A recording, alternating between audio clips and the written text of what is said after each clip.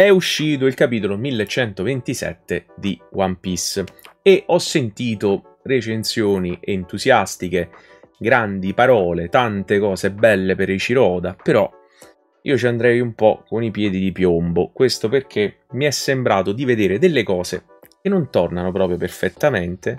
Poi io ho una mia idea su ciò che sta accadendo all'interno di questi capitoli. Chi segue le live sa che già settimana scorsa, secondo me, ehm, mi è parso di capire che i personaggi in questo momento sono forse vittime di un test probabilmente, sono comunque ehm, prese da una forza esterna probabilmente, che può essere anche Loki, e poi dopo cercherò eh, con un piccolo ragionamento non di convincervi che si tratti di Loki, quelli che ha portato eh, i Mugiwara lì ad Elbaf, che secondo me sono già ad Elbaf, eh, ma più che altro mm, per far vedere che ci sono comunque dei punti di contatto tra le cose che potrebbero essere pure casuali. Però, siccome Oda mi pare che eh, sia un autore che fa bene i compiti a casa, ci sono effettivamente degli elementi qua e là nel capitolo eh, eh che potrebbero dare ragione eh, a, mm, proprio al mio pensiero. Ma mm, tralasciando questo, ci sono comunque delle cose all'interno del capitolo che non mi sono piaciute tanto, perché potrebbero essere tanto degli errori quanto qualcosa che in realtà in qualche modo corrobora il mio ragionamento di nuovo, però non vorrei eh, essere rimasto vittima di una profezia autoavverante, che io vedo delle cose e continuo a convincermi che sta andando nella direzione dove penso debba andare Oda e questa serie di capitoli naturalmente.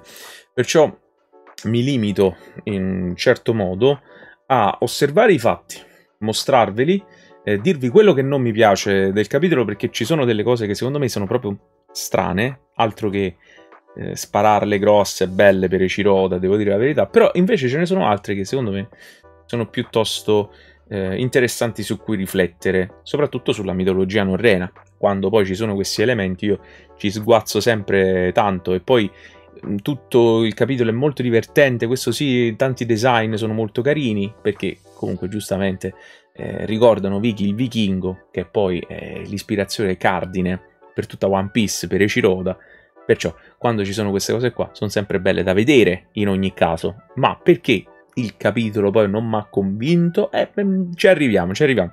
Intanto mettiamo sul piatto della bilancia degli elementi, vediamo quanto pesano e se possono in, in qualche modo eh, davvero dare mh, mm, ragione a quello che penso o, oppure no. La prima cosa di cui si parla all'interno di questo capitolo è Yggdrasil, ovviamente Yggdrasil all'interno della mitologia norrena è importantissimo perché si tratta dell'albero cosmico, l'albero del mondo, eh, che potremmo considerare come fonte di vita, delle acque eterne, l'albero che dà la vita ma è anche fonte del sapere, è l'origine della sapienza di Odino, naturalmente, è la fonte del destino, sappiamo che le radici o comunque tutto intorno all'albero di, di Yggdrasil che è un frassino, ci sono tutta una serie di animali, c'è il serpente sotto che ne mangia le radici, ma ci sono anche vari lupi, altre creature che eh, in qualche modo anticipano, mangiando l'albero, il Ragnarok. Poi ci sono mh, sulla sommità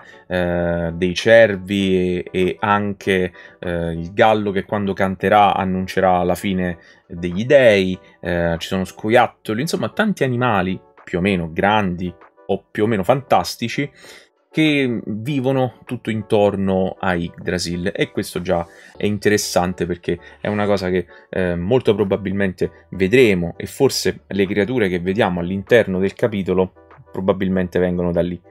Viene tirata in ballo la grande divinità solare. Attenzione, non si tratta di Nika, viene questo specificato anche nelle traduzioni eh, fatte dai fan. Non si sta parlando di Nika, il dio del sole, ma della divinità solare.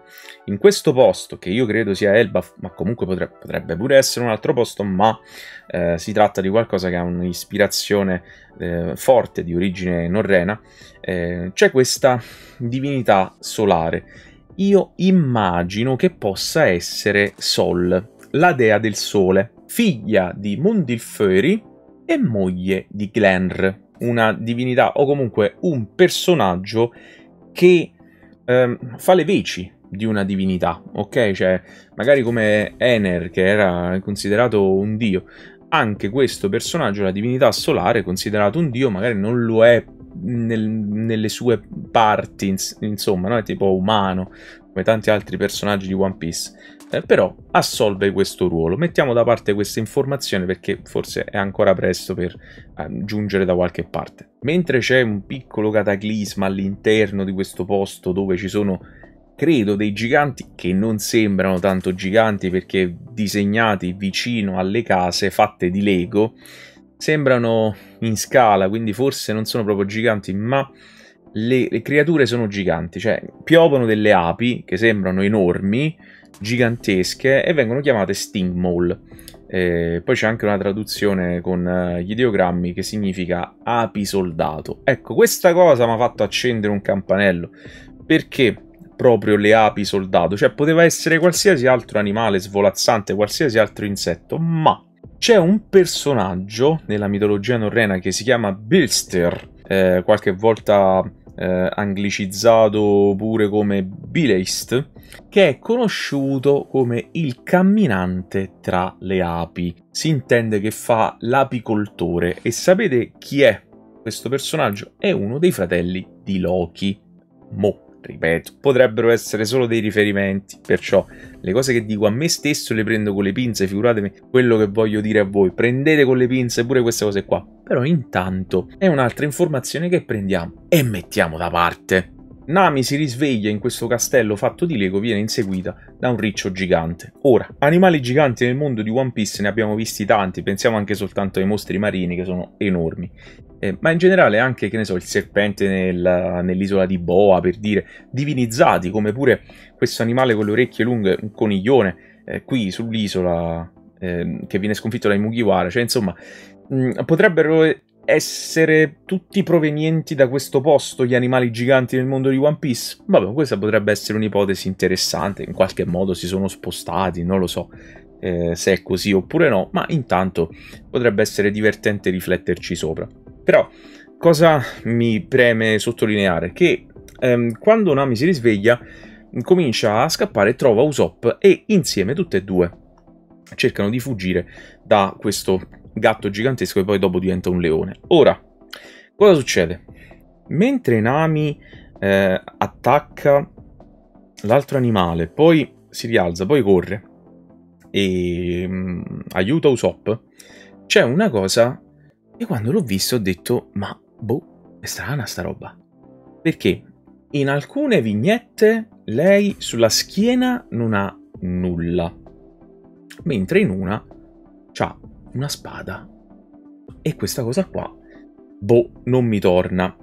Usopp a un certo punto si ricorda quello che è stato detto nel capitolo precedente, cioè abbiamo bevuto una bevanda che dà allucinazioni, eh? l'assenzio. Quindi eh, Usopp quasi pure lui si vuole convincere, dice forse questo gattone è solo un'allucinazione. Mentre Usopp corre ha una borsa e in altre vignette la borsa sparisce. Eppure questa roba qua mi ha fatta ammattire perché sono delle cose che Oda si è dimenticato di disegnare oppure Oda sta cercando di dirci che sì, questa è un'allucinazione, ma se fosse un'allucinazione. Perché vediamo anche il punto di vista di altri personaggi che dovrebbero essere i giganti, non giganti o comunque vichinghi, va, che vivono all'interno di questo sistema. Peggio ancora quando appare Luffy, perché Luffy usa il Gear Third e lo chiama Gear Fourth. Strano. È un errore. È un errore voluto. Se è un errore grave, vuol dire che non stanno riflettendo bene, non stanno controllando bene questo capitolo. E Luffy, quando eh, dà il calcio a questo leone gigantesco, sulla schiena non ha niente. Poi lo vediamo una, mm, in una vignettina che ha una spada. Poi c'è la zoomata su di lui e non è una spada, ma è un'ascia, cioè si è trasformata, cioè da una vignetta all'altra, prima non c'aveva niente, poi c'è una spada, poi c'è un'ascia. Allora, o Oda ha disegnato queste vignette in momenti completamente diversi, oppure ci hanno lavorato le persone in maniera completamente slegata, oppure Oda ci vuole dire di nuovo che questa è un'allucinazione. Ma ripeto, se è un'allucinazione, perché vediamo quello che fanno altri personaggi? Non dovrebbe essere un'allucinazione che riguarda soltanto i Mugiwara che hanno bevuto la fata verde, l'assenzio? E allora questa cosa a me mi fa ammattire, ragazzi perché se sono degli errori, sono degli errori gravissimi perché non stanno controllando assolutamente niente del capitolo e anzi è strano che mh, non li si fa notare questi problemi. Per il resto, costruzione del capitolo molto divertente. Eh, devo dire che mi è piaciuto, è tutto molto rocambolesco, gli animali disegnati sono disegnati in modo molto divertente. C'è anche una bella citazione al capitolo 126 di One Piece, ritorniamo indietro nel tempo. È molto, molto facile secondo me intuire il perché di tutto questo. È un capitolo di Alabasta e siccome ormai secondo me la pre-produzione della seconda stagione di One Piece Netflix è bella avanzata e Ciroda si sta ripassando un po' tutto per vedere che cosa deve succedere e cosa non deve succedere, forse è rimasto infognato da quel momento e ha mm, ridisegnato più o meno eh, in maniera identica eh, la, la, scena con eh, Luffy, Zoro e Sanji che attaccano contemporaneamente una creatura con eh, più o meno le stesse pose che aveva fatto boh, ormai quasi vent'anni fa, credo, non mi ricordo bene. Eh, però sono diciamo quasi, quasi identiche le due vignettone. Bello, bello, divertente in generale, un capitolo sì che è molto divertente, però che eh, mi fa tanto riflettere e sognare molto, quanto anche un po' incazzarmi, perché se questi non si riveleranno essere degli indizi per le allucinazioni, ma solo degli errori, sono degli errori grossolani, enormi, senza senso. Quindi però, ripeto, eh, non voglio convincervi che ci sia davvero la mano di Loki dietro tutto questo.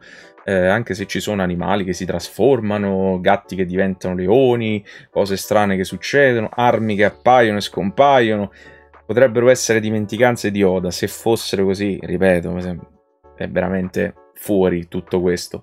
Ma vabbè, fatemi sapere voi che cosa ne pensate, perché chiaramente non sto parlando solo io e sto riflettendo pure su certe cose della mitologia norrena che magari non ci porteranno da nessunissima parte, ma secondo me era interessante fare un appunto del genere. Eh, ripeto, aspetto i vostri commenti qua sotto, mi raccomando, scrivete, scrivete, scrivete.